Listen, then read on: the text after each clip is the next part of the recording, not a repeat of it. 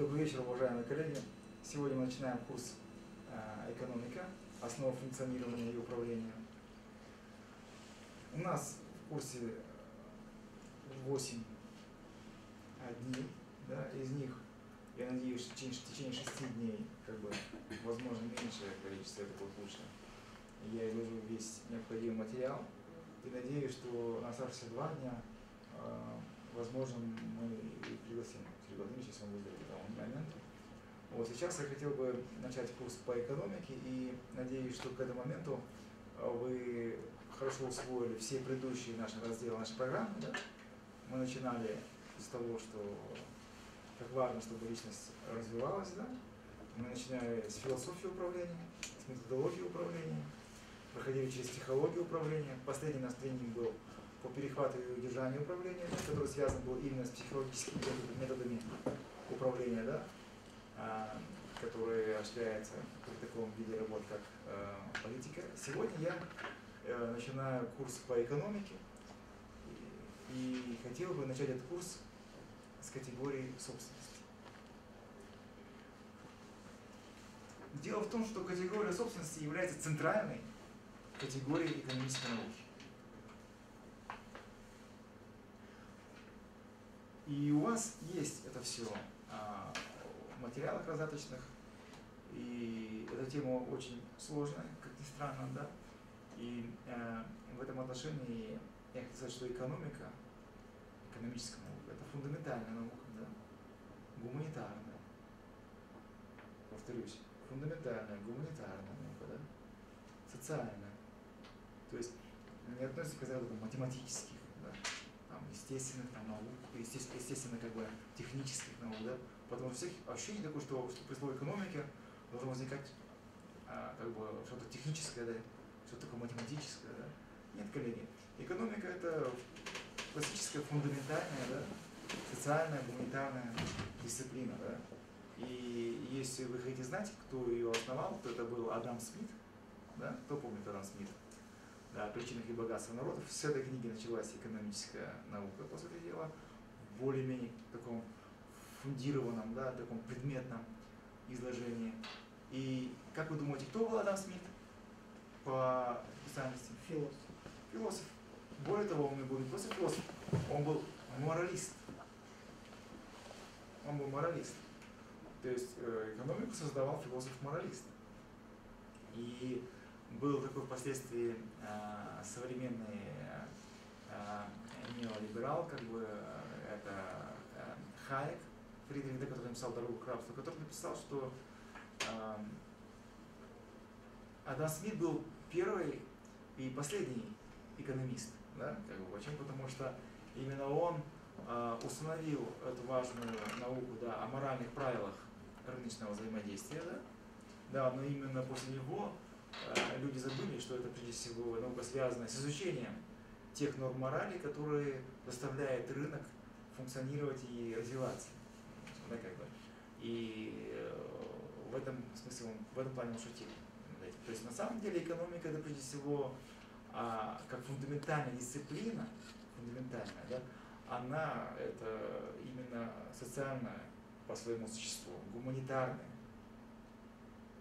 наука, да, и это фундаментальная наука, повторюсь, да, то есть это означает, что чтобы она стала прикладной в каком-то аспекте, но нужно проделать огромную там работу, да, по сужению ее предмета, да, рассмотрения, по э, как бы уточнению и как бы средств исследования, да, много-много чего такого, чтобы она стала прикладным. К примеру, логистика, слышали такую дисциплину, да? И это самое, что есть пример прикладной экономической дисциплины, да? Еще какие вы знаете прикладные экономические дисциплины?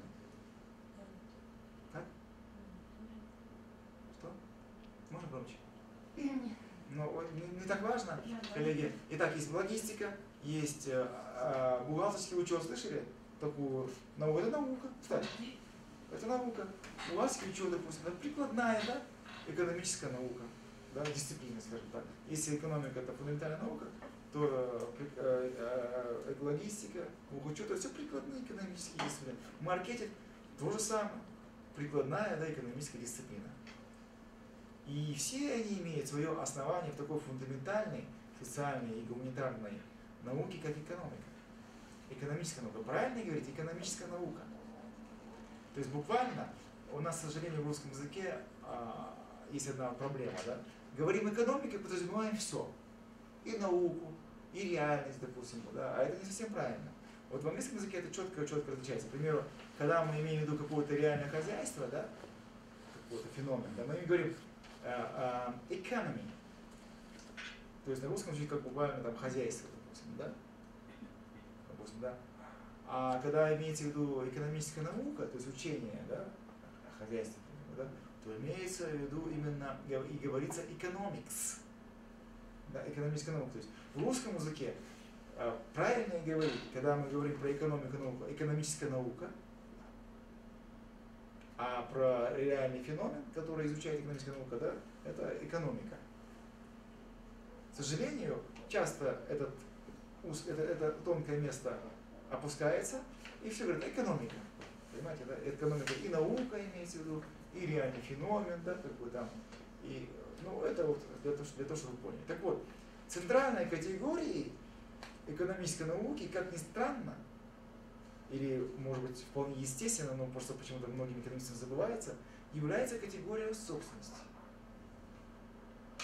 А категория собственности – это очень действительно глубокое понятие, поэтому не случайно называется категория. Да?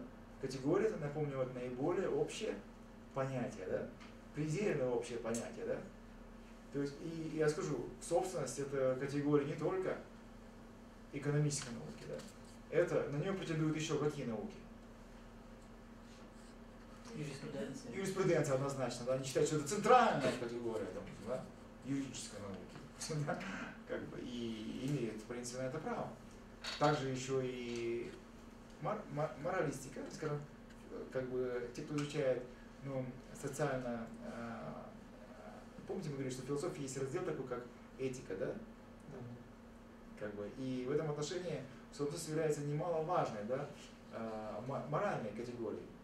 Да, это тоже очень важно и большое имеет как бы э, свое как бы, э, как бы философия также изучает эти все аспекты, связанные с собственностью, и категория собственности очень сложная. Категория, я хотел бы, чтобы вы сконцентрировались и поняли, да, в чем ее суть. И начнем мы с того, что материальные потребности, они с чем связаны? Материальные потребности связаны с чем? Материальные потребности связаны с присвоением благ и их потреблением, правильно? То есть чем материальные потребности отличаются от духовных? Материальные потребности отличаются от духовных тем, что мы хотим что-то присвоить, правильно? Что-то взять, забрать, правильно? И уничтожить, то есть потребить. То есть я просто хотел бы, чтобы вы поняли смысл слова потребление. Потребление – это буквально уничтожение блага. Да? Чтобы благо уничтожить, нам нужно это благо присвоить. Вот почему это называется материальные потребности. Я понятно изъясняюсь? Почему духовные потребности называются духовными, а не материальными? Потому что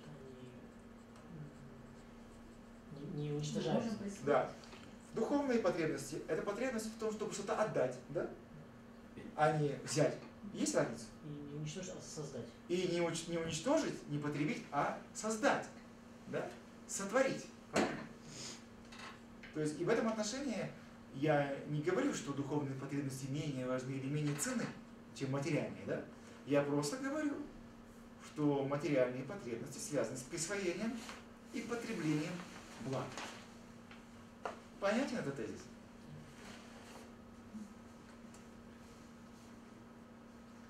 Проблема в том, что любое потребление благ всегда осуществляется в личном порядке. То есть каким бы благо ни было, да, общественным, да, или э, каким-то, то есть общественным неделимым, или делимым, да, вполне таким частным, да, мы всегда будем это потреблять в личном порядке. Нет ни одного блага потребляемого, которого бы не потреблялось чисто в личном порядке. Я хотел бы, чтобы вы этот тезис лучше усвоили и поняли. Проблема, или, скажем так, первый постулат э, в отношении изучения категории собственности, то, что любое благо потребляется лично, никогда не лично, только лично.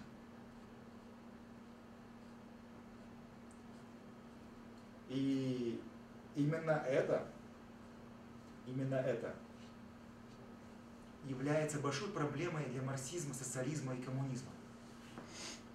Понимаете, там в чем проблема? Ведь Маркс чего хотел? Он говорил, ребята, все очень просто. У нас-то форма производства давным-давно уже какая? Общественная. А, а форма присвоения какая остается? Частная. Все, что нужно сделать, это уничтожить противоречие основного капитализма между общественной формой производства и частной формой потребления. Понятно, изъясняюсь? И на эту прекрасную идею, да, купилось все человечество, и весь 20 век трясло от страны к стране, да? До сих пор еще трясет. Все люди требуют, раз форма производства у нас общественная, то все мы должны и потреблять также, да? Общественно, да? А не лично, да? Почему ему больше, а мне меньше, да?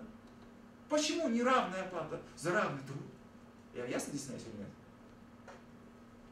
Это основная проблема подхода э, Марса и всех социал-демократических и прочих социалистических, коммунистических и прочих-прочих да, социальных требований. Понимаете, да? В чем проблема? Проблема в том, что требования об уничтожении этого противоречия между общественной формой производства, против которой никто не спорит, она всегда общественная, да? Мы все взаимодействуем, при помощи общения создаем какой-то продукт. Да?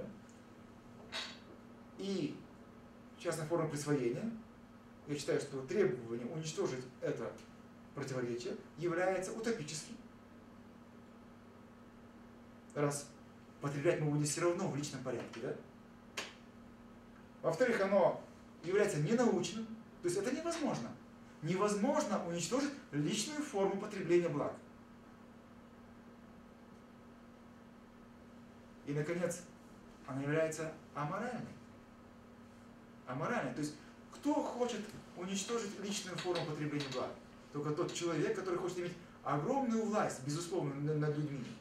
А вы знаете, требование безусловного контроля над людьми, оно аморально. Потому что, то есть ты хочешь кого-то контролировать, но при этом не хочешь, чтобы взамен также контролировали тебя. Правильно, да? Ведь это же вещь такая, объект с субъектом всегда между собой связаны. Они неразделимы. В этом же великая тайна мира, да? Известна только Богу, что субъект и объект неразделимы. Но нам, людям, всегда кажется, что это вещи разделены, да? И поэтому субъект свободен, а объект не свободен. То есть субъект это всегда активное начало, а объект пассивное. К сожалению, даже самое пассивное начало создает с тобой взаимодействие, да? А во взаимодействии всегда происходит обмен, да? То есть собственность или объект собственности всегда требует внимания, всегда требует ответственности, да? Помимо того, что ты свободен, там, с ней делать все, что ты хочешь. Я понятно объясняю, да? И вот требование безусловного контроля над людьми, да, то есть безусловно, то есть без обмена, без взаимодействия, это моральное требование. В принципе, что и произошло. Как только людям сказали, что они имеют, не имеют права на частную форму присвоения, что произошло? Те люди, которые это объявили, они получили огромную, да, безусловную власть над людьми. В принципе, с чем мир благополучно или, скажем так, более-менее благополучно справился, да, и при всем том, что идея коммунизма всегда будет жива, да, тем не менее мы пошли дальше, да. То есть мы покашляли, отряхнулись, и все человечество пошло дальше. Итак, все блага в материальном смысле слова потребляются после присвоения их. К сожалению, присвоение и потребление благ не может быть никаким иным, кроме как личным. Повторюсь, даже общественные блага потребляются лично. К примеру, государственные услуги по э, безопасности да, страны, защите страны. Важнейшая же услуга, да? Перед нами гражданами, правильно, да?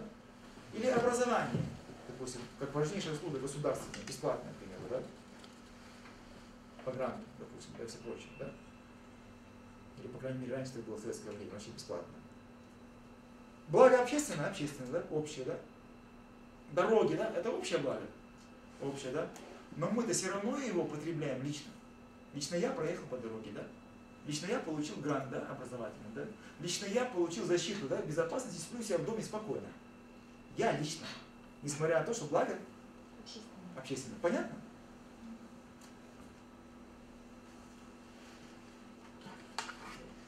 Следующий тезис. У нас, у людей, и, возможно, не только у людей, а у всех живых существ, есть одна проблема. Мы не можем что-то потребить, пока это не присвоим.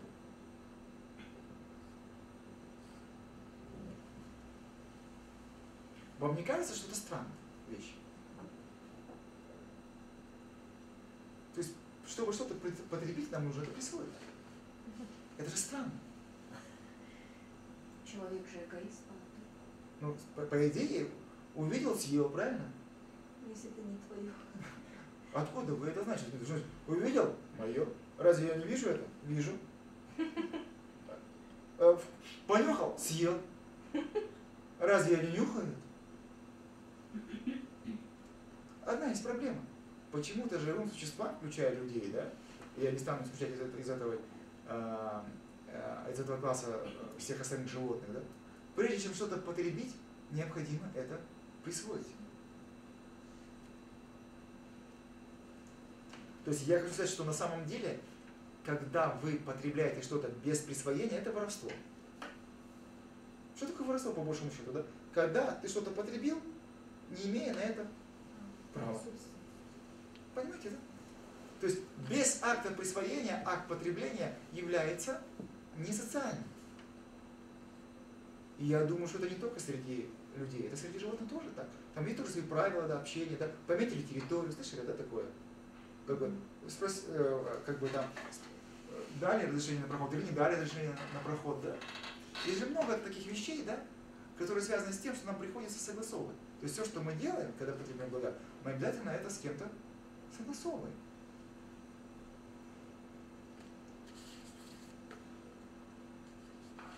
То есть я хотел сказать, что существует акт труда, как акт освоения, да? существует акт овладения, присвоения, да? Это все источники происхождения собственности. Это все у вас есть, это вы все можете э, прочитать. Я хотел, чтобы вы сейчас поняли одну важную вещь, что чтобы потребить что-то, необходимо это присвоить. То есть я хотел сказать, что собственность это не просто отношение к вещи. Собственность это отношение между людьми по поводу вещей. Отношения между живыми существами. Помните, мы с вами изучали тренинги перехвата и удержания управления, да? Что почему важны психологические методы управления, да? В управлении, в процессе управления. Потому что они создают реальный, реальный рычаг контроля, да? Они являются реальным механизмом воздействия на наши отношения. Важнейший ресурс. И важнейший механизм, рычаг контроля. То есть если мы хотим контролировать какую-то вещь, да, то мы обязаны просто построить какие-то отношения с людьми, которыми, которые ее окружают, вместе со мной. То есть это не просто отношение к вещам, собственность. Собственность это отношение между людьми по поводу вещей. Понятно? И мир пока не придумал э, как бы больше двух источников происхождения собственности. Это, с одной стороны, акт присвоения, да? Еще говорят, о владении. Слышали такое? О владении. Кто первый, тот и прав. Да? Понятно? То есть суть простая.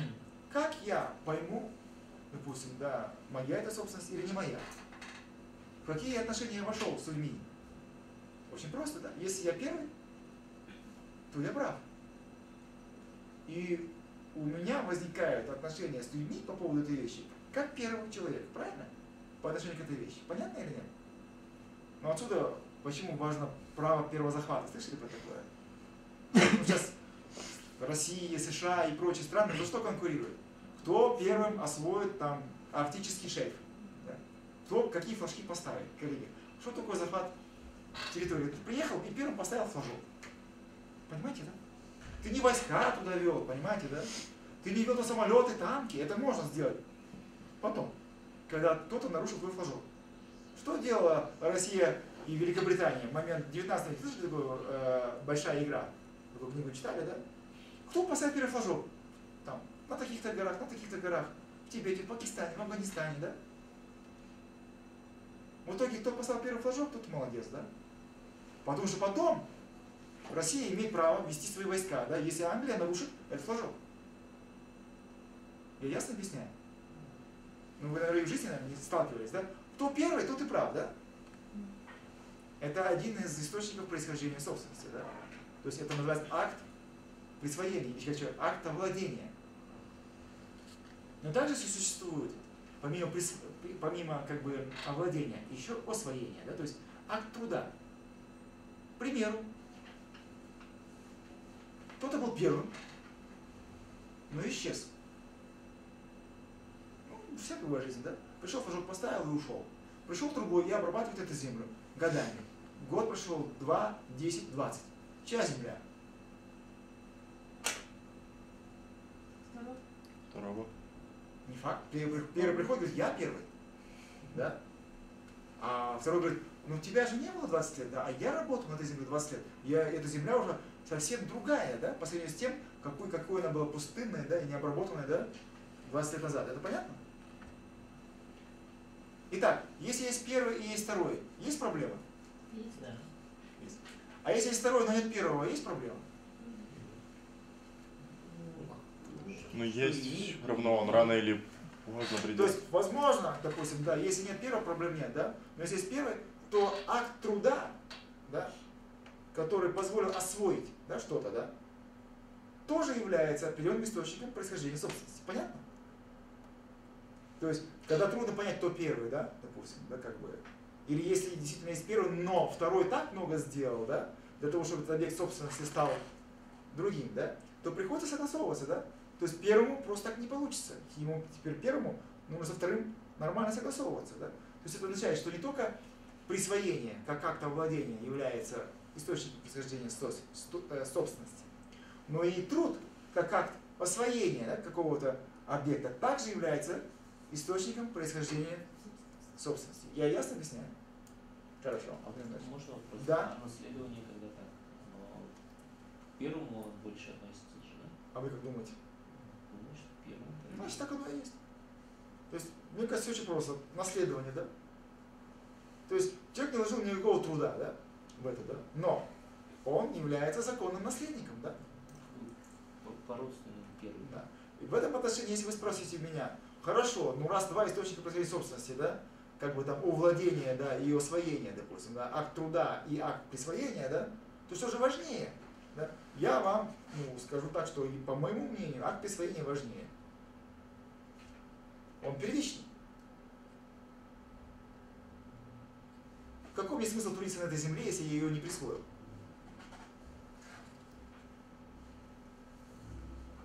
Понятно? Я так считаю. Возможно, есть какие-то другие аргументы. Да. И в чем состоит развитие общества? На самом деле развитие общества, в частности экономическое развитие общества, состоит в том, как, чтобы как можно больше сфер жизни, сферы и объектов, в том числе и духовных, да, вовлекалось в сферу присвоения и товарообращения. Заметьте, как развивается мир в экономическом смысле слова, как развивается человечество. Сферу экономики, да, то есть сферу присвоения да, благ и обращения их в виде товаров, вовлекается все больше и больше а, объектов собственности, разнообразно. Раньше никто и помыслить не мог, да, что вода может быть объектом собственности. Да, а сейчас это что? Она бутилированная, да, продается, да, и является объектом собственности, начиная с месторождения да, воды и заканчивая бутылками воды, которая продается. Да? А ведь раньше она открывалась в кране, пили мы ее, да? Не проблема, да? А теперь уже и воздух, да, знаете, стал объектом собственности. Слышали про это? Да. Продаются вот квоты, да, на загрязнение воздуха. На каком основании квоты на загрязнение воздуха продаются? Ну а что это означает? Это означает, что государство, международное сообщество присвоило себе в качестве объекта собственности воздух. Понимаете, да? То есть общ- общее неделимое благо, казалось бы, которое невозможно лично потребить, да, как бы, хотя мы его все ими дышим, да, но невозможно как-то его как-то присвоить. Оно присвоено, да, государствами, да, и теперь продается право на за его загрязнение. Я ясно объясняю? То есть общество развивается, все больше и больше разнообразных объектов собственности становится. То, что раньше мы и помыслить не могли, что это может быть объектом собственности, теперь это становится, да? Ваши мысли раньше, кто мог подумать, что это ваша собственность, да? А теперь, оказывается, это возможно, ваша собственность. Ее можно запатентовать, да? зарегистрировать. Я считаю, что это развитие общества состоит в том, чтобы собственность развивалась. Чтобы в отношении собственности входило все можно, как можно больше и больше сфер.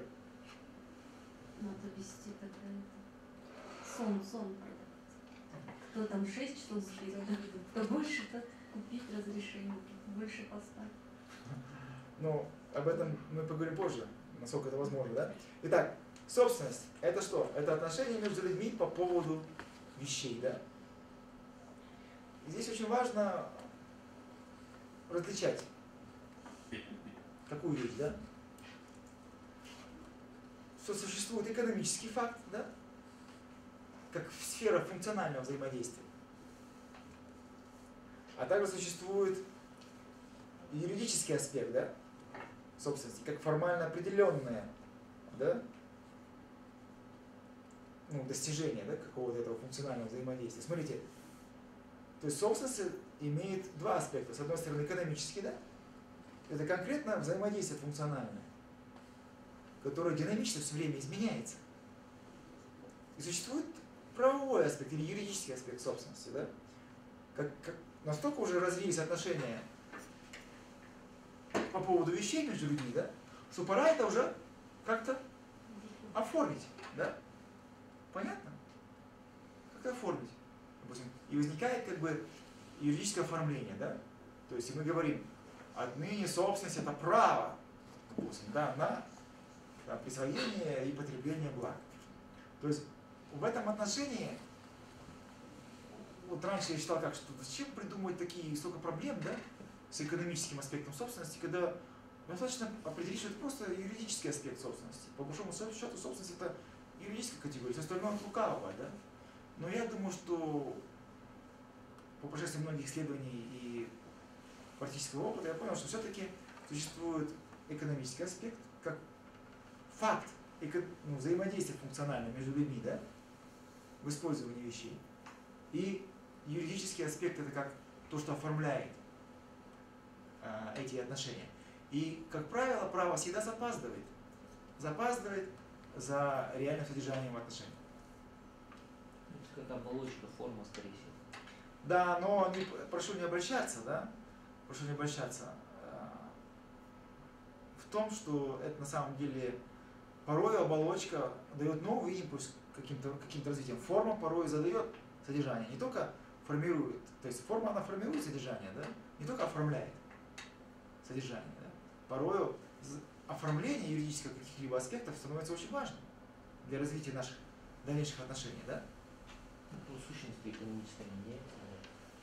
Ну да. К примеру, помните, приводили пример? А, человек, мужчина живет женщиной, да? скажем так, официально, которая не является его женой. Еще у нас называется гражданская, да, жена, слышали такое? Да? Обладает ли она собственностью на имущество, вещи того человека, с кем живет? Нет. Юридически нет, а фактически? Да. Да. По обоюдному согласию. Ну, скажем, мы говорим, что собственность это что? Отношения между людьми по поводу вещей, да? Отношения между людьми есть? Скажем, муж и гражданская жена. Отношения есть какие-то? Да. Я подозреваю, что какие-то есть отношения. По крайней мере, какие-то непосредственные, в частности, сексуальные, да? Они есть, допустим, да? Вот. И наверняка есть какие-то еще личные отношения, да? То есть кто-то кого-то любит или не любит, да? Нервничает или раздража- раздражается, допустим, да? Доверяет или не доверяет, так ведь? Я уверен, что когда при- придет, к примеру, гражданская жена а, там, на работу, к примеру, к мужу, да, и начнет здесь распоряжаться, допустим, всем, что здесь происходит, да? Не факт же, что она э, будет не права или то, что ее не будут слушаться. Скорее всего, наоборот. Ну попробуй не послушать э, там гражданскую жену, допустим, да, э, там, президента компании, который закрывает глаза на то, что она приходит здесь и распоряжается всем. То есть по факту очень тяжело, да, понять, допустим, да, как действовать.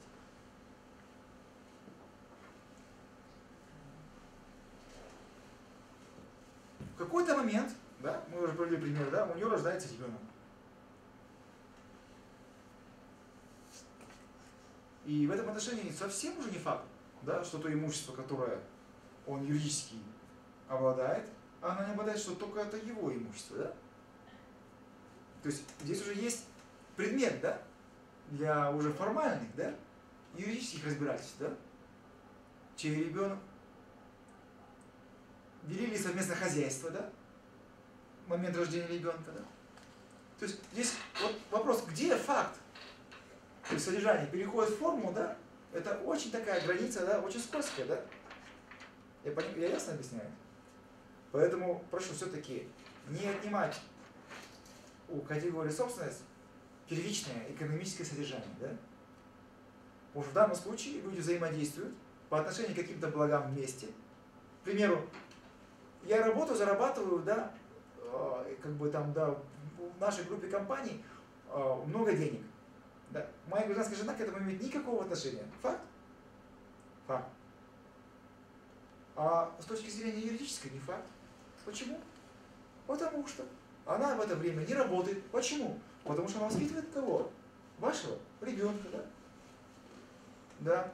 Она лишается многих себя преимуществ, да, гражданского, как бы, гражданской, гражданской деятельности, да, то есть рабочей, то есть она не работает, она родила от вас ребенка, воспитывает его, да, то есть она имеет такое же право на имущество, допустим, в вашей группе компаний, как и вы имеете такое же право на этого ребенка, как и она.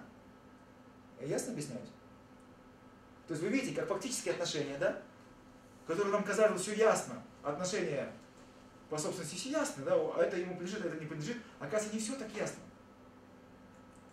То есть факты взаимодействия являются также юридическими значимыми, как и документально оформленные документы. Юридически оформленные документы. Я понятно объясняю, да? Или еще пример яркий. Вот долевое участие. Да, как бы там, да? Вы, э, э, вы, как говорится, купили долевое участие в строительстве какого-то дома. Обладаете ли вы собственностью, да, на эту квартиру, которая строится? Да. Фактически да, а юридически нет. До тех пор, пока дом не будет сдан в эксплуатацию, Мгм. домом владеет застройщик, это в лучшем случае. И до тех пор, пока не будет подписан акт приема владения, да, до тех пор вы не являетесь собственником этой квартиры. Да? Ваша собственность только право требования к этому застройщику. Хотя все деньги, которые вы ему дали, фактически только ваши деньги, его там денег вообще нету. Да, как бы, э, Никита, откройте, пожалуйста, окно, а, чтобы чуть-чуть воздуха было больше. Я сожалею, что это все скучно, да, как бы, но, к сожалению, сложные вещи, сложные вещи, да, проще не объяснить. Я пытаюсь очень просто объяснить.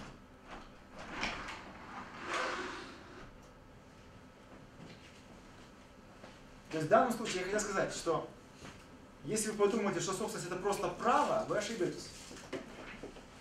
Ведь всегда же есть какой-то соблазн сказать, собственность это право. Вы ошибаетесь. Почему? Потому что собственность это прежде всего естественное поле деятельности.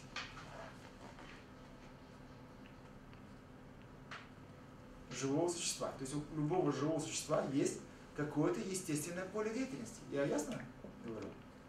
Собачка, птенчик, да, они занимают какое-то пространство, дышат воздухом, да.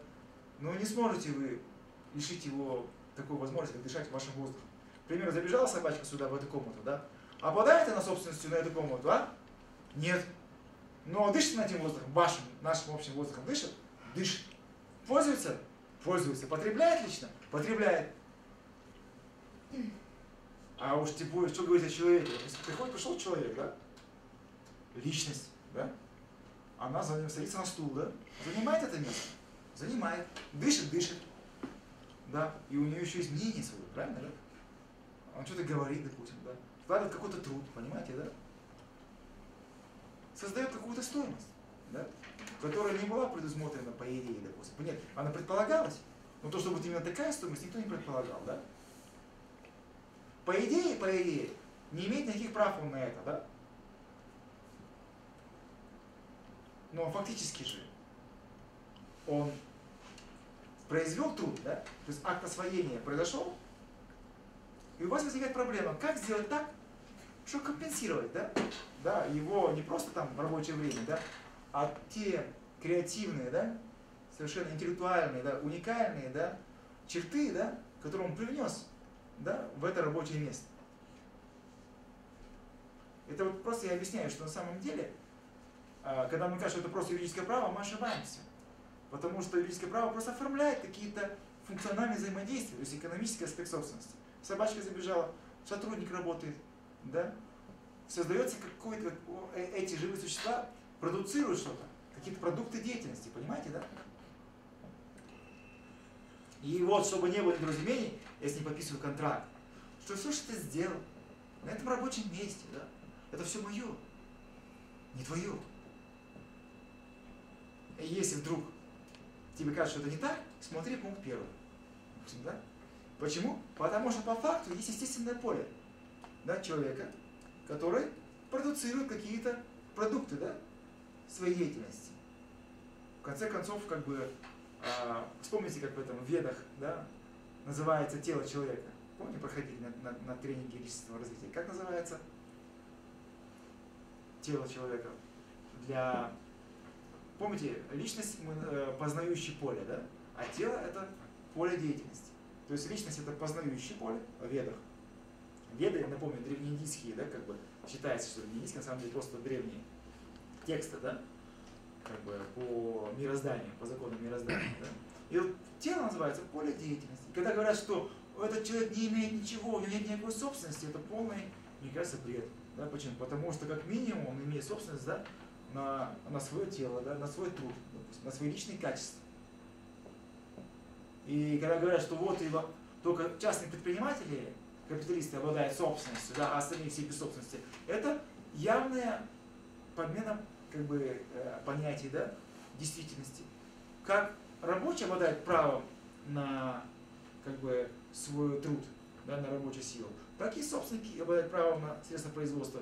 И происходит вполне равный обмен, да, как бы собственностью на труд и собственностью на средства производства. Да. В чем проблема?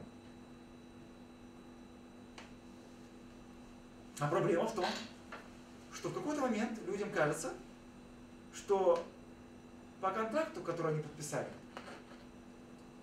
продукт, который они вместе себе производят, не в той пропорции распределяется. Я правильно говорю?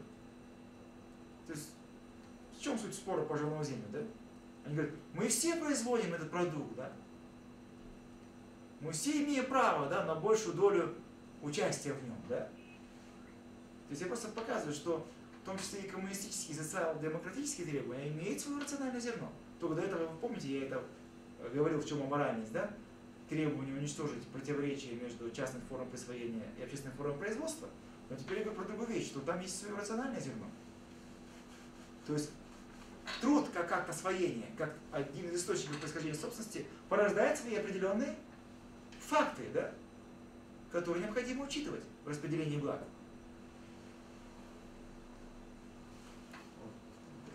Да. Получается, право собственности распространяется в том числе и в духовном, да? А, да, конечно, это так, если вы сможете духовные объекты сделать объектами собственности.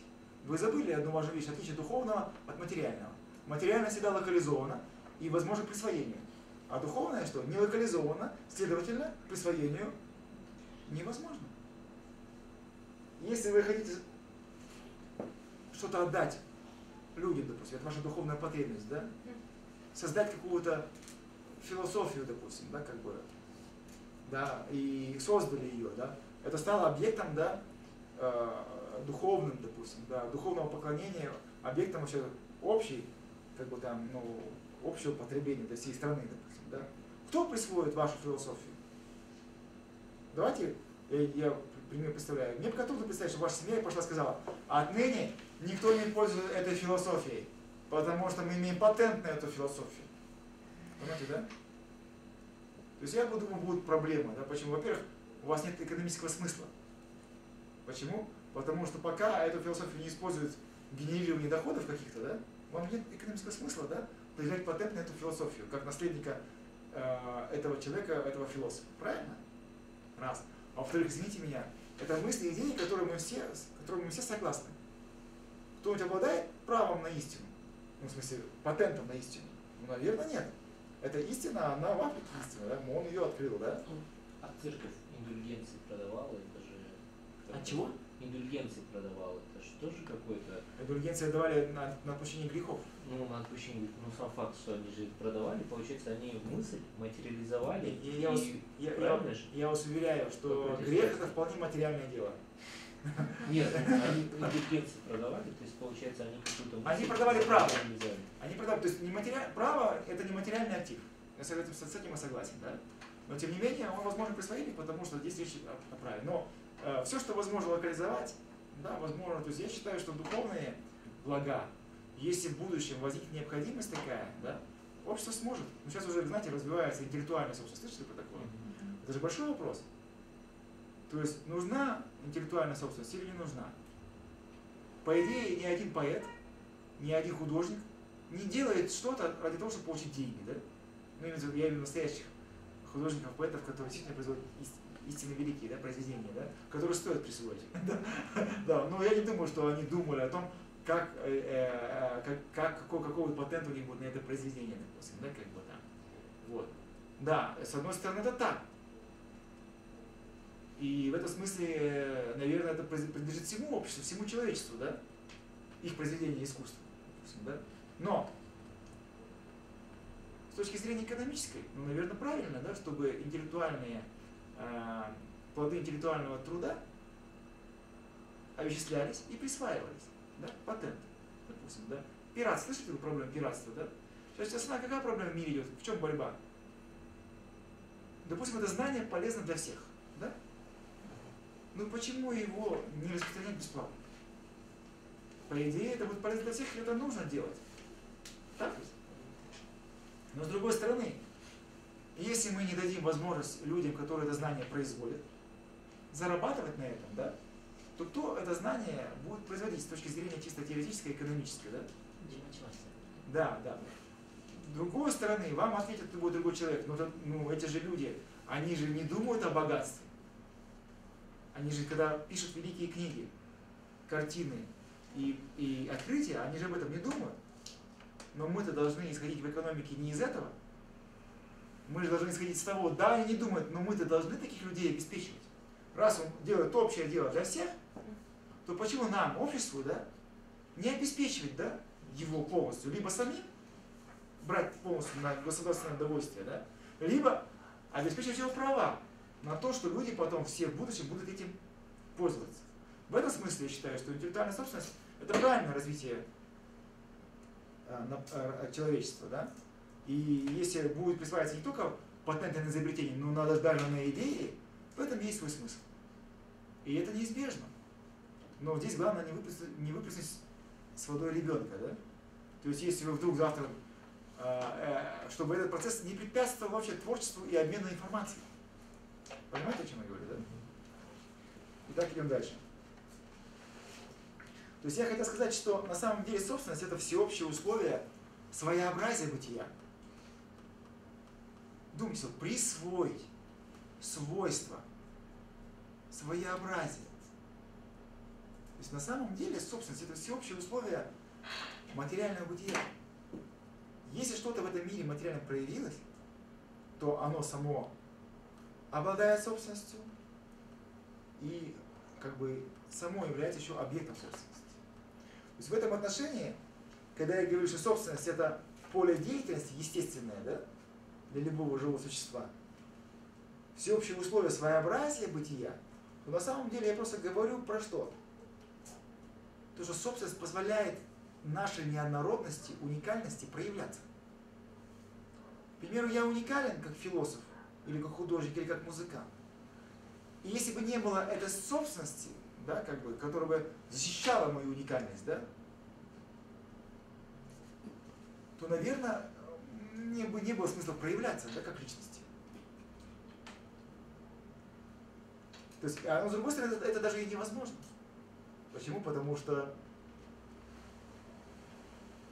все, что мы делаем, по сути дела, да, это мы проявляем свою личность, да, проявляем свое своеобразие, и не только мы, да. То есть все в этой жизни, да, имеет определенное поле воздействия, да. На самом деле, э, собственность это как бы основа как бы, для информации. Она позволяет нашему своеобразию, неоднородности быть. По большому счету, присвоение, освоение, свойство, свое. Только вдумайтесь, на самом деле это просто условия как бы, проявления каких-то свойств уникальных, да, единичных свойств. Собственность это поле проявления каких-то свойств. Если есть какой-то субъект и объект, у него есть свои свойства, да? И эти свойства обязательно являются чьим-то свойством, понимаете, да? И в этом отношении э, собственность это всеобщее как бы, условие бытия. Условие проявления неоднородности бытия, его разнообразия. Вот почему очень важно все больше и больше, в том числе и духовных объектов, да, делать объектами собственности. Почему? Потому что тем больше будет проявлено разнообразие в мире. Соблюдение прав по отношению к интеллектуальным продуктам, да, особенно важно в плане того, чтобы как можно больше было своеобразия в жизни. К сожалению, уничтожить собственность невозможно. Но и не нужно. Пусть собственность будет, пусть своеобразие, неоднородность, да, раз, разнородность будет. Почему? Потому что это основа мироздания. Повторюсь еще раз, однородности, равенства нигде никогда не было и не будет. И не надо, чтобы оно было. Пусть все будет разнородным, а однородность это смерть. Это энтропия, понимаете, да? Поэтому благодаря собственности и развитию отношений собственности наш мир является разнообразным, своеобразным, да, и потому он все время развивается и усложняется. Теперь вопрос такой тестовый, да, как вы поняли все. Почему центральная категория экономической науки является основой любого права в частности и справедливости вообще? В такой степени, что юриспруденция правоведения претендует на нее как категорию юридической науки. Так, простыми словами. Почему категория собственности является центральной не только для экономической науки, но и для правоведения?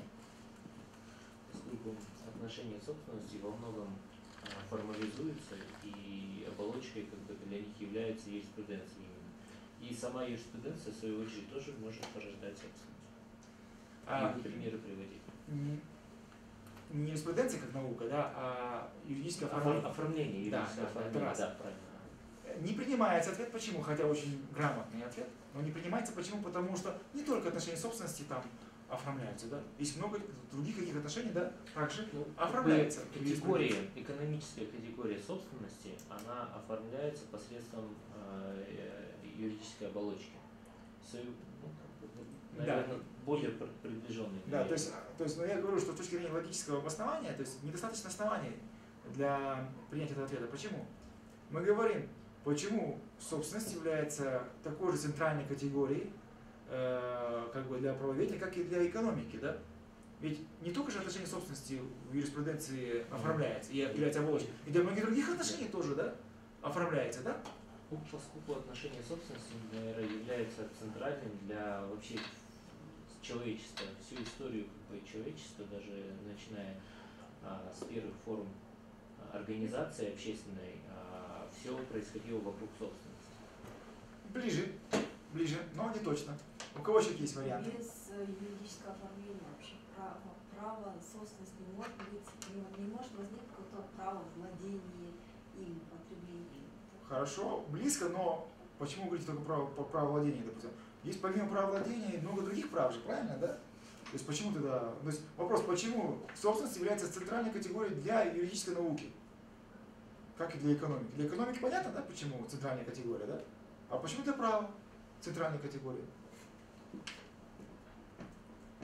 Ну, потому что именно собственность является предметом вообще на науке. То есть, если бы не было собственности, то право было бы не, не актуально вообще как наука.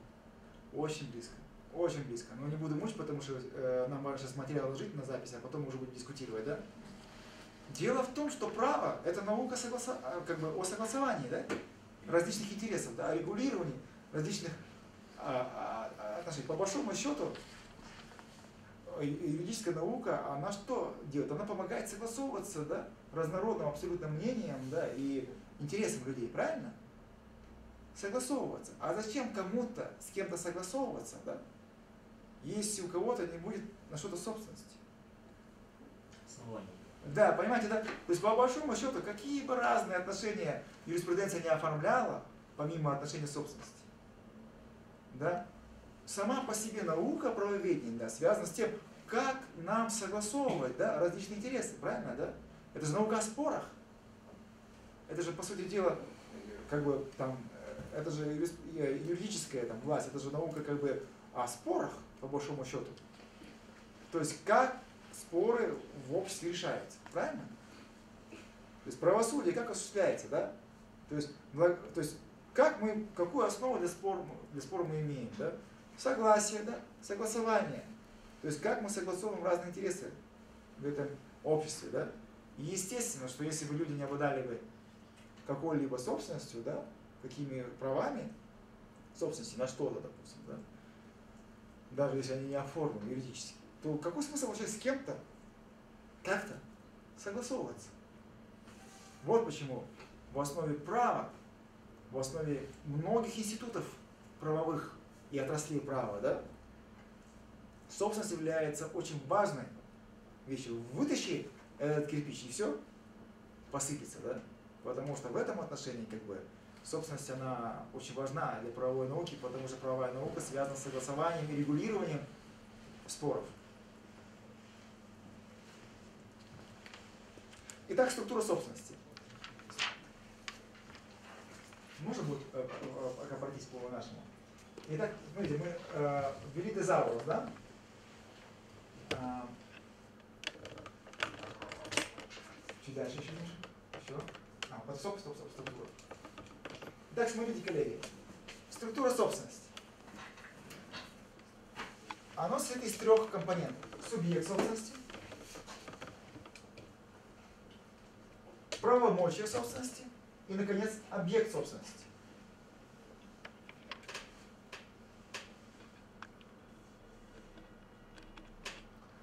Когда я вот задавал вам этот вопрос и получал ответ да, на него, это была как бы часть такая, ну, теоретическая, которая, как бы, возможно, не совсем была, была интересна, но вот это, мне кажется, очень важно. В собственности всегда есть эти три вещи. Субъект, объект и правомочие. Заметьте, правомочие. Не полномочия, а именно правомочие. Итак, смотрите. Кто может быть субъектом? Личность. Любое физическое, да? Или юридическое лицо, да? А также Группа лиц. группа лиц, союз лиц. Понятно? И это не смешно. Это очень важно. Потому что очень многие не понимают этой вещи. Физическое или юридическое лицо, да? Вроде бы понятно, да? Но еще, оказывается, еще союз лиц.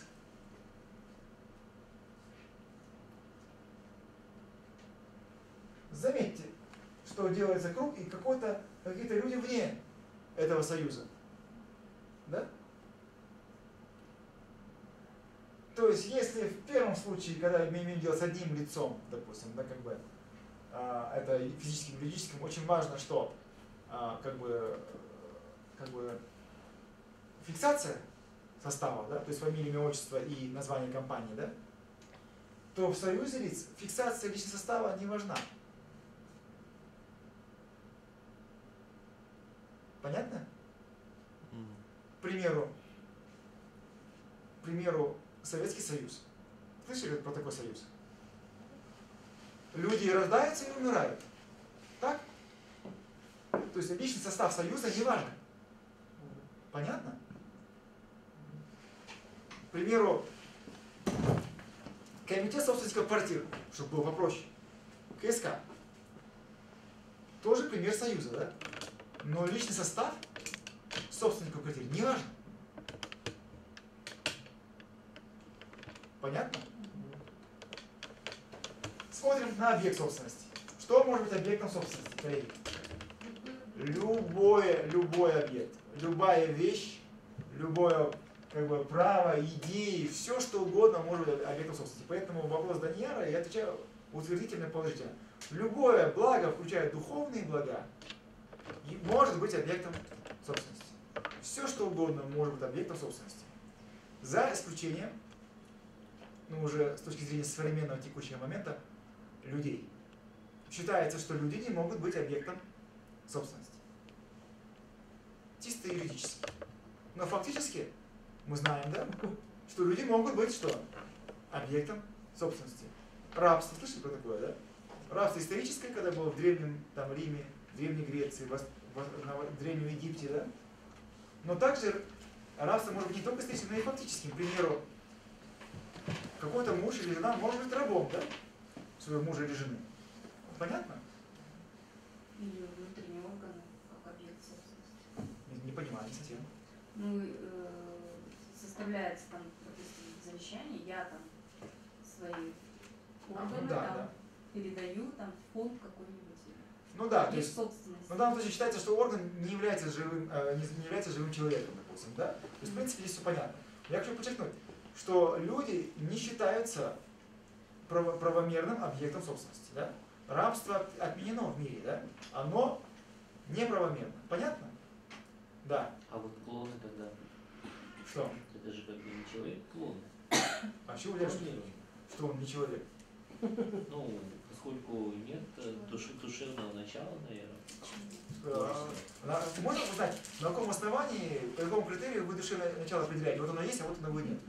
Вот он ходит, ходит, дышит, да? Смотрит на тебя, да? Есть у него душа или Ну, нет? Скажем так, у него начало не божественное, да? Это не дар Божий, да? А у нас божественное. а дар- а дар- конечно, конечно. Итак, коллеги, если человек, клон, он живой, да? Теоретически представим, что такое возможно, да? Да, допустим, да? И по, по декларации, о всеобщей, по всеобщей, всеобщей декларации прав человека, является он человеком или нет? Наделен ли он разумом и совестью? Да. Если он разумом и совестью, то почему у него нет души? На каком основании вы решаете его души? Нет, ну, а, человек это как бы единичный экземпляр, да? Шесть, сколько там у нас миллиардов, мы все друг от друга отличаемся, даже одна яйца в единице. А в данном случае это как бы копия, да? Идентичная копия другого человека с таким же набором хромосом. Скажите, а однояйцевые идентичные, идентичные близнецы являются одинаковыми? Нет. Однояйцевые, идентичные. Одна яйца. Нет, они все равно в чем тогда различны. У них все равно набор хромосом а, чуть-чуть, но отличается. Да, а, Минимально. а- а в клоне абсолютно полная идентификация, да? Да. Ну, Хорошо. ну и клон же копия. Хорошо. А кто А, проверил? а, ну, это, во-первых, это вопрос условный, да, раз. А во-вторых, представим себе, что стопроцентная идентичность, да? Но он же живой? Или вы Раз будете, живой, значит есть душа. или вы будете отрицать, что он живой?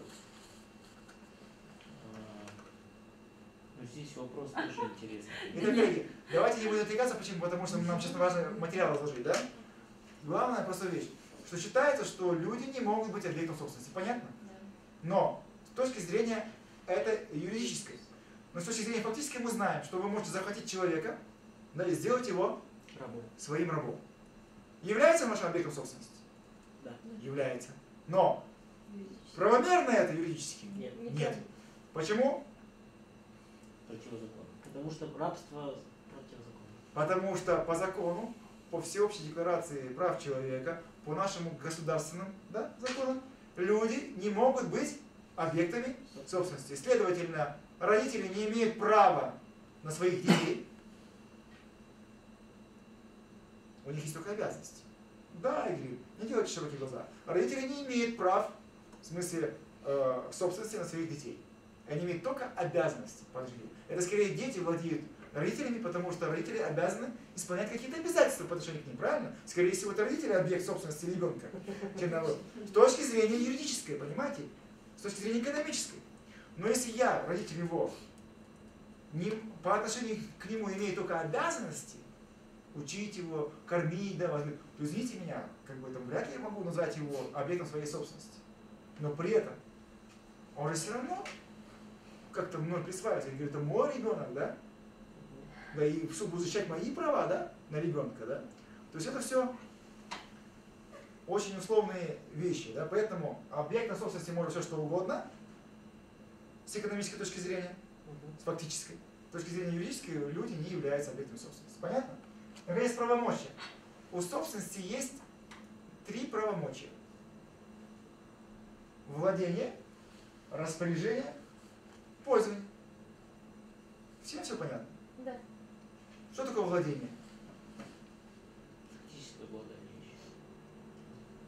Да. Юридическое. То есть фактически оно не юридическое, да? Нет, а, нет, это одна из составляющих, да, из элементов права собственности. Оно заключается в том, что как бы субъект а, фактически обладает объектом, то есть он его имеет, скажем так. Да?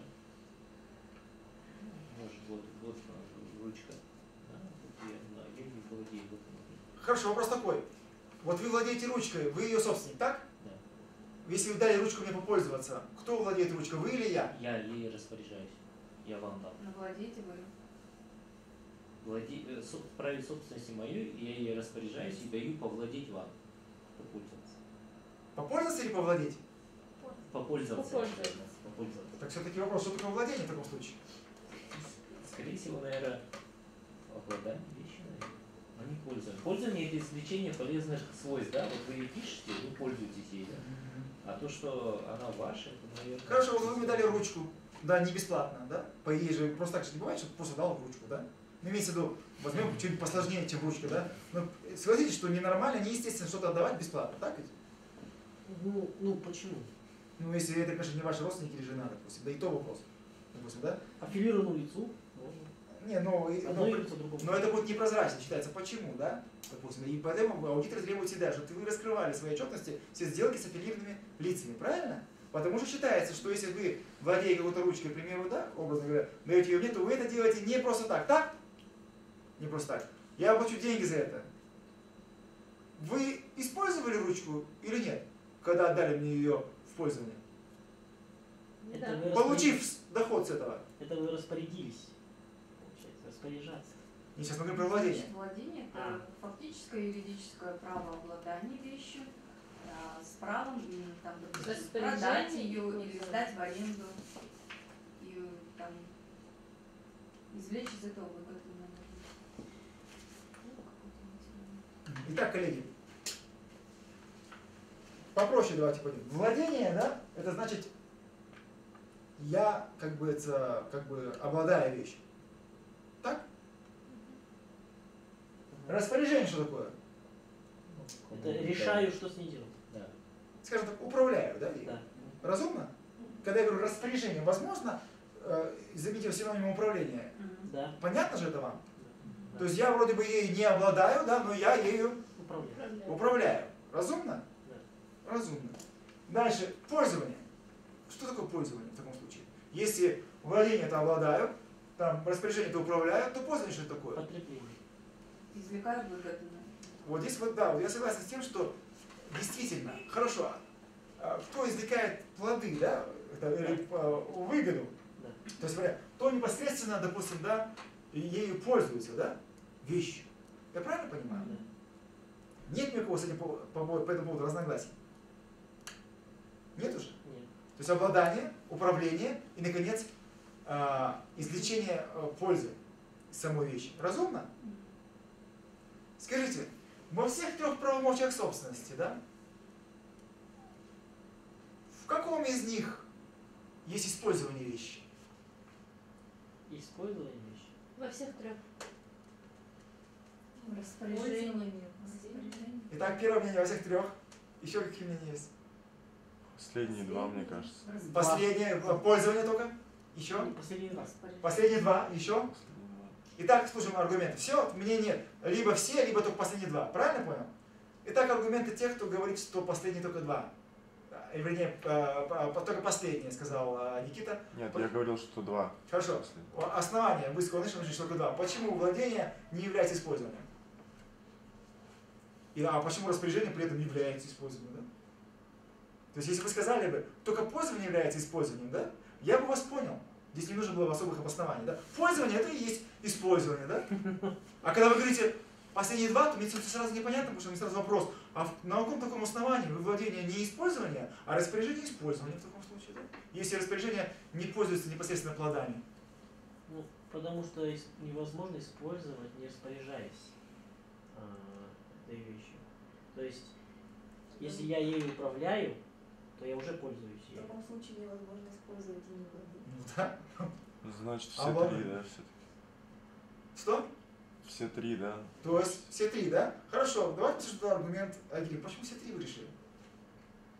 Потому что если я владею, значит я пользуюсь этим, скажем, той же ручкой, да, я даю ее на прокат, да, зарабатываю деньги, я, когда распоряжаюсь, тоже пользуюсь. То есть я даю распоряжение там дать в долг эту, ну, пользование само собой понятно. Итак, смотрите, в принципе, все правильно объяснено, но термин чуть неправильный выбран. Термин. Да. Во-первых, мы с вами говорили, что пользование это как раз не, не просто использование, это именно пользование непосредственное, да? Извлечение пользы Да. из этой вещи. А использование, получается, более широкое получается понятие, да? Потому что я могу использовать вещь, как бы владею, да, то есть с пользой для себя, да, владеть, с пользой для себя распоряжаться, да, и с пользой для себя, собственно говоря, пользоваться. Понятно? Да. И, к сожалению, к сожалению, наше законодательство казахстанское запуталось в трех соснах. А мы считаем, что право распоряжения самое главное распоряжение. А самое главное правомочие собственности. Хотя с точки зрения той логики, которую мы с вами изложили, очень простой и понятной, самое главное право, правомочия собственности, да, это скорее право владения. Я могу от права владения откусить распоряжение и отдать кому-то. Разумно? Разумно. Я могу от распоряжения, допустим, да, как бы откусить и отдать там в пользование, допустим, да, какие от владения. Разумно? Разумно. Я даже от владения могу откусить какую-то часть владения и отдать это, да? Но как только я расстанусь с самим правомочием владения полностью, да, я перестаю быть кем? Владельцы. Владельцем, обладателем всех правомочий собственности. Я ясно объясняю или нет? А наше законодательство что говорит? Наши законы говорят, что самое главное распоряжение, э, вернее, самое главное право – это распоряжение, да? То есть оно присваивает распоряжению право определять юридическую судьбу вещи. Я бы еще понял, если бы написали фактическую судьбу, но они записали юридическую и фактическую судьбу вещи. Это зачем вообще владение? Или, или что они под владением имеют в виду? То есть получается, под владением они имеют в виду только фактическое обладание, да? Только именно непосредственное держание вещи, правильно? Тогда как они отличают его от пользования, где именно непосредственное, да, есть извлечение пользы из вещи? Как я могу непосредственно извлекать пользу из вещи, если я ею не владею, правильно, да? То есть в таком, в их логике. То есть их логика по-любому, она запутана. Я объясню почему, потому что не все до конца поняли римское право. А римское право это основа, в принципе, сейчас слышали такое понятие рецессии, рим- рецессии римского права. То есть считается, что римляне оставили после себя, помимо империи, войн и водопроводов, да, совершенную систему права. Это идеал права. То есть еще никто этого не достиг идеала. Вот почему в мире мы имеем дело с таким феноменом, как рецессия римского права. То есть каждая страна пытается воссоздать как бы целостность римского права.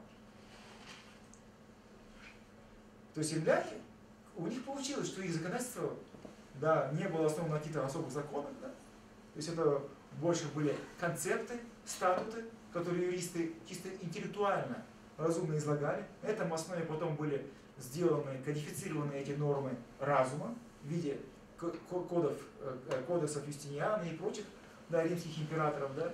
Но суть в том, что это право было целостным, совершенным, непротиворечивым. Сегодня ни одна страна не может похвастать, да, что его право, да, не противоречиво, да. Поэтому очень много проблем, да, как бы в этом вопросе. И римляне никогда не говорили право владения. Они говорили use, если посмотрите свои конспекты, да, use positendi et abutendi.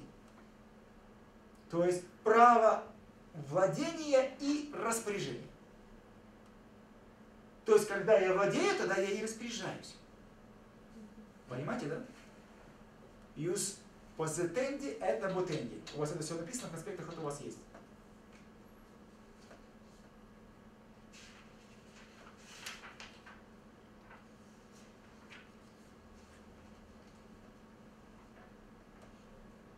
Когда, мы говорили, когда они говорили про распоряжение, они говорили «юс утенди это бутенди». То есть право пользования и распоряжения. А когда говорили про пользование, они буквально говорили «юс утенди et fruendi». То есть право пользования и извлечение, право пользования и извлечение плодов, понимаете, да? Право пользования и пользования плодами – фруэнди, слышали? Узус фруктус, сейчас законодательство у нас есть, допустим, да? Это все оттуда идет. То есть, то есть когда, ну, фрукты, плоды, понимаете, да? То есть, как use utendi et fruendi. То есть, я имею не просто право пользы, а именно право непосредственного извлечения пользы. То есть, пользование плодами. Право пользования и пользование плодами. Это вещи. То есть, они прекрасно понимали, что все три правомочия собственности неразделимы. И чтобы хоть как-то их проанализировать, они говорили право владения и распоряжения. Право распоряжения, право пользования и распоряжения. И, наконец, право пользования и пользования плодами. То есть, когда мы говорим про право владения, мы однозначно имеем в виду в том числе и распоряжение. А когда мы говорим про пользование, мы имеем в виду либо пользование в смысле распоряжения, то есть управление вещью, либо пользование в смысле непосредственного извлечения плодов и пользования ими. Понятно? Логично? Логично. Почему нельзя использовать очень простые, соответствующие здравому смыслу и соответствующие очень четко разработанной системе, допустим, там римского права, да, просто тупо продублировать там, в нашем эти вещи. Очень многих, многих проблем бы избежали. Очень многих проблем. Представляете, да? Основной вопрос правоведения, да, взять, запутать до такой степени, что право распоряжения поставить выше права владения. Что важнее, собственник или управляющий? Это всем понятно? А в нашем законодательстве нет. Потому что распоряжение для них, то есть управление, выше, чем владение, обладание вещью. Но мне кажется самым очевидным, да, что тот, кто владеет, тот и определяет юридическую судьбу вещи. Тот, кто распоряжается, определяет фактическую судьбу вещи. Да? И, наконец, тот, кто пользуется, тот, собственно говоря, и извлекает плоды да, из этой вещи. И тот, кто извлекает плоды из этой вещи, соответственно, должен что сделать? Поделиться этими плодами с кем? Тот, кто владеет. С теми, кто владеет, а тот, кто владеет с кем? Кто распоряжается. Все распоряжается. Понятно? Логично или нет? То есть, зачем мне владеть, если я не могу использовать да, эту вещь? Зачем мне распоряжаться, если я не могу использовать эту вещь? Правильно, да? То есть, соответственно, тот, кто непосредственно эту вещь пользует, извлекает плоды, он должен что? Эти конкретные плоды непосредственного держания вещи да, распределить. Правильно? Между теми, кто этой вещью владеет, теми, кто этой вещью распоряжается, и, собственно говоря, что остается тебе, да? Тому, кто этой вещью, собственно говоря, пользуется. Вопросы ко мне? Есть одна важная вещь если пока а, вопросы подожду, да? Объект собственности. Еще одна важная э, момент. Можно будет еще там вниз? А, тогда вверх, пожалуйста. Значит, смотрите, коллеги. Дело в том, что в отношении объекта собственности еще, еще одну важную вещь надо, чтобы вы поняли. Вот в объекте собственности я показал очень важный тонкий момент, видите, союз лиц, который не фиксируется по личному составу. То есть это абстрактный владелец получается, да? Абстрактный. Юридическое лицо не является абстрактным, согласны? Оно фиктивное лицо, но оно не абстрактное. Согласны? Физическое лицо тем более, да, оно, не, оно как бы, э, тем более, да, как бы там оно, оно, оно, не, оно даже не фиктивное, да, оно, оно физическое, оно реально существующее лицо, не фиктивное. Юридическое лицо фиктивное, да, а физическое лицо неэффективное. Но союз столиц, это же на самом деле абстрактное лицо. Если в союзе лиц нету физических лиц конкретных, да, нету конкретных юридических лиц, то это очень абстрактное лицо, согласитесь? К народ Казахстана, кто это конкретно? Да? Если мы пишем всех нас, мы ошибемся. Если пишем всех-всех граждан Казахстана, тоже ошибемся. Почему? Потому что граждане Казахстана постоянно рождаются и умирают. Правильно? Это как, это как реестр акционеров, который постоянно меняется. Правильно? То есть это очень абстрактный владелец. То есть также очень важно, какой момент в объекте собственности. Объекты собственности бывают делимыми и неделимыми. То есть они являются либо раздельным имуществом, либо нераздельным, неделимым. Это очень важный момент, который я хотел бы, чтобы вы запомнили. Почему? Потому что мы должны дальше э, рассмотреть конкретно, чем частная собственность отличается от общественной. Давайте подытожим, да? По субъекту собственности мы поняли, по объекту собственности поняли, по правомочию собственности тоже поняли, да? Теперь повторим, что владение – это право обладать и распоряжаться благом с целью определения юридического статуса, да? принадлежности и использования вещи. Владение – это главное правомочие титула собственности. Вот, и именно от владения отчуждаются все остальные э, правомочия собственности. Э, распоряжение – это право пользоваться и распоряжаться благом в целях определения фактического статуса его принадлежности и использования. В определенной владение мере. То есть какой, в какой мере владение определит твое распоряжение, такой ты и будешь распоряжаться. Понятно, да? И, наконец, использование – это право фактически, фактически держать. Не юридически обладать, а фактически держать и пользоваться благом, да? чтобы извлекать плоды да, его использования в определенной распоряжении мере. То есть управляющий, распорядитель говорит тебе, в какой мере ты можешь пользоваться плодами, которые ты извлекаешь. Понятно? То есть смотрите, получается, тот, кто пользуется, тот извлекает плоды, но оказывается, он пользуется этими плодами только в той мере, в которой ему определит распоряжение. Понятно?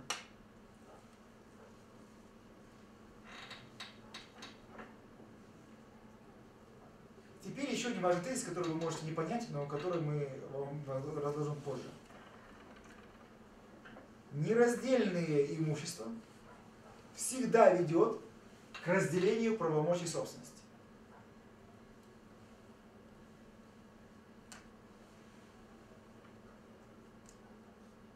Когда субъектом собственности является союз лиц.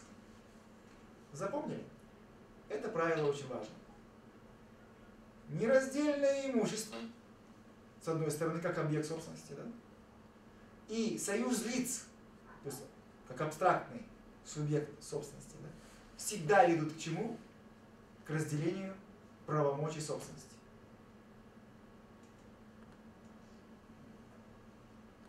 Пример. Общенародная социалистическая собственность. Кто владелец?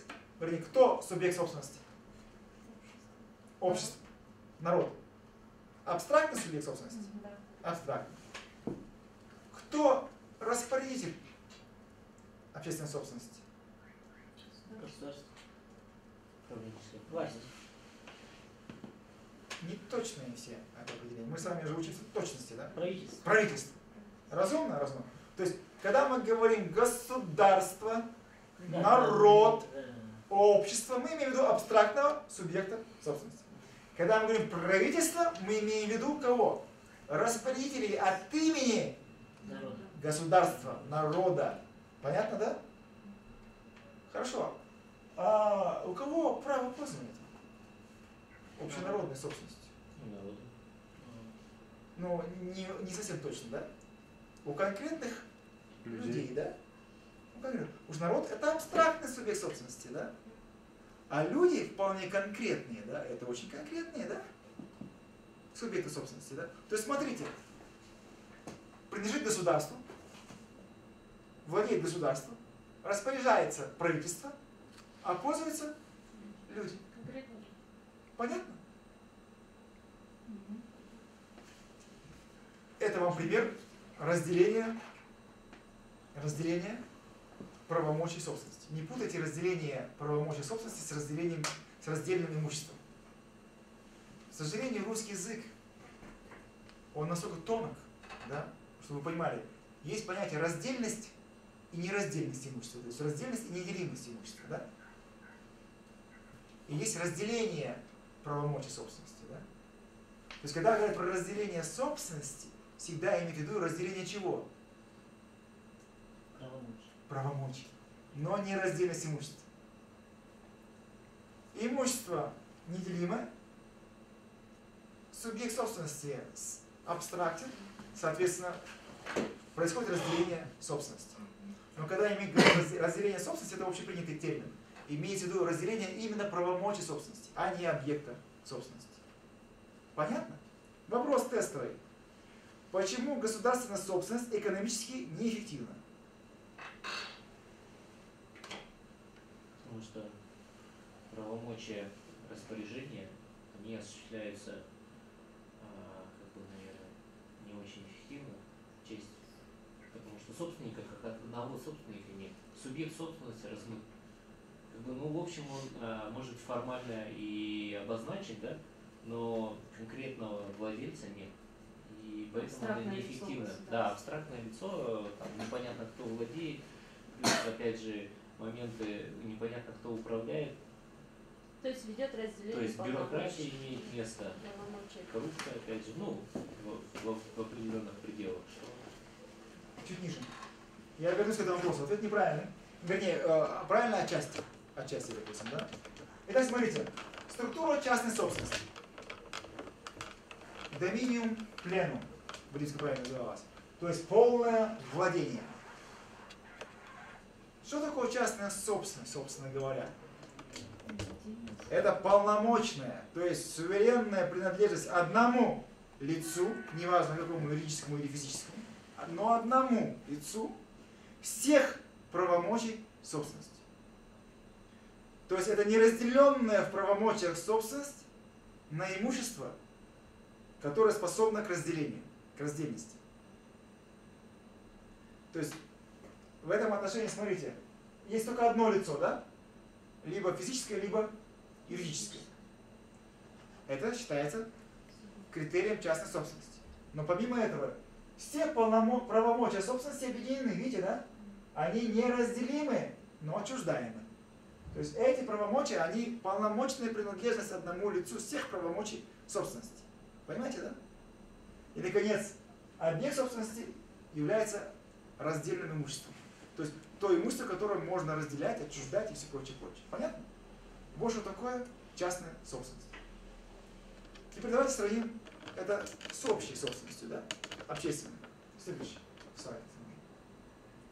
Структура общей собственности. Заметьте, в субъекте всегда союз лиц, союз лиц, то есть абстрактный субъект собственности, да? Правомочия собственности разделены, видите, между ними нету как бы связи, разделены, да, и не отчуждаемы. Вот что прикол в чем. То есть эти правомочия разделены, но не отчуждаемы. И, наконец, объект собственности, имущества, оно неделимо. То есть оно является совместным имуществом. Вот вам структура общей собственности. Почему неправильно? Есть много таких, смотрите, если есть объекты, которые неделимы, к примеру, территории государства, делимый объект или неделимый? Неделимый, правильно? Э, Кто может неделимым таким неделимым объектом, как территория государства, владеть? Только государство, правильно? Президент? Не, я бы очень хотел, чтобы президент владел наш. Но, к сожалению, это не, ну, теоретически это не, прав- неправильно. Да? Народ владеет, правильно? Союз лиц. Да? Союз граждан владеет, государство владеет, да? И правомочия собственности в отношении, в частности, земли, они разделены. Да? Владеет народ, распоряжается правительство, а пользуются конкретные Лица. лица, люди. Понятно? На, этот- на этом, я считаю, теоретическую часть сегодня можно завершить. И после этого мы будем разбирать детали этого а, а, конспекта. Перерыв.